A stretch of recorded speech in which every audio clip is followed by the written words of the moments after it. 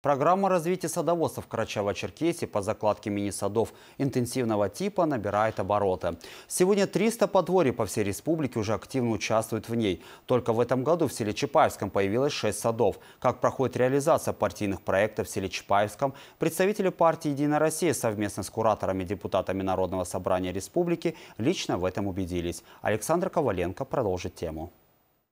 Жители одного из микрорайонов села Чапаевская сейчас наблюдают за подготовкой территории для детской игровой площадки. Она будет возведена по проекту «Доступная среда», и уже через месяц здесь будет слышен детский смех. Ее расположение выбирали сами сельчане, рассказывает куратором глава администрации Прикубанского муниципального района Мухаммад Амин Чомаев. Сначала мы спрашиваем само население. Э, э, глава администрации очень деятельный здесь. Он, он без, без, скажем, э,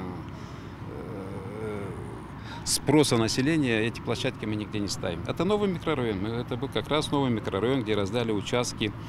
И действительно очень много детей там. Понятно, сейчас э, школа, все это не видно было, а на самом деле им негде играть там. Один из наиболее значимых партийных проектов для жителей нашей республики – развитие садоводства. На территории Карачаева-Черкесии на сегодняшний день их уже более 300.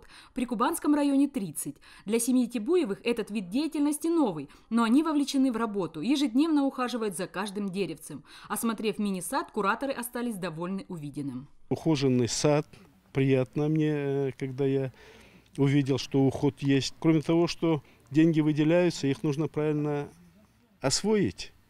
Э, кроме того, правильно обслуживать, содержать это все.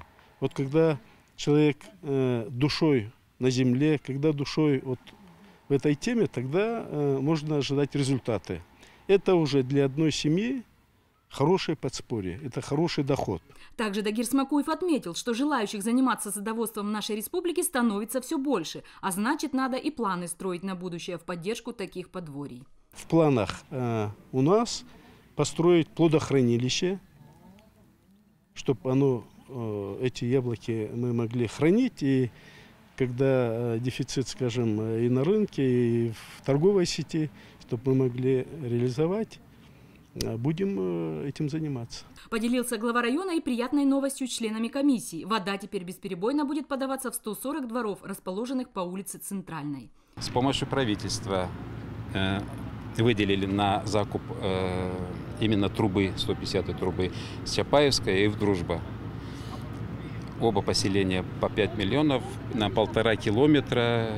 Ну, вот сейчас мы можем видеть уже э, само подключение уже э, э, население делает, как мы называемый техприз.